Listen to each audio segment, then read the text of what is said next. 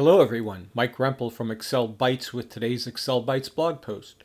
Today we're going to take a look at how to do a VLOOKUP when the data is scattered across two or possibly three different tables.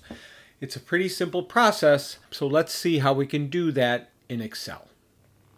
So here's our scenario. I have a list of the top 20 countries in the world based on population.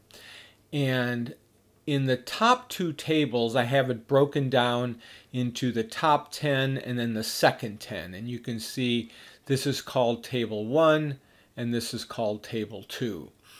Over here is table 3 and all that is is the list of those 20 countries so that I could create a data validation drop down list with those as my options in that list.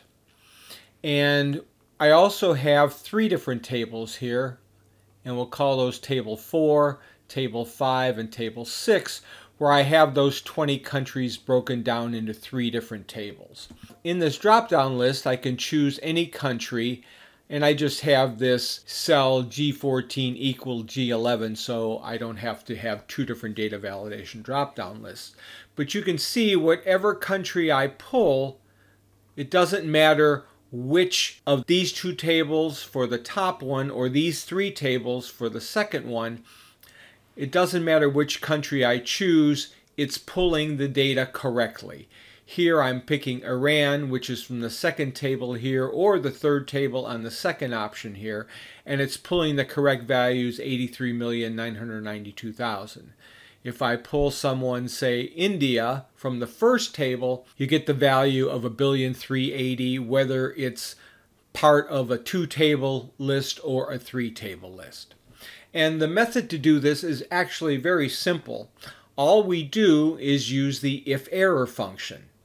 So in this case, if error, we're doing a VLOOKUP. We're looking up the country, in this case G11, and looking it up in table 1 pulling from the second column with an exact match.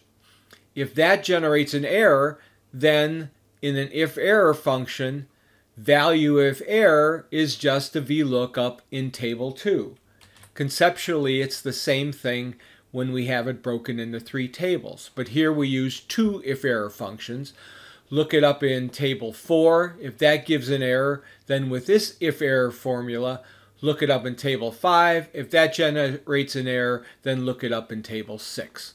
So that's how simple it is to do a VLOOKUP across multiple tables in Excel. So thanks for watching this video. If you enjoyed it, please give it a thumbs up. And if you haven't subscribed yet, please do so at my website, excel-bytes.com, or at any of the social networks noted below. Thanks a lot, have a great day, and happy excelling.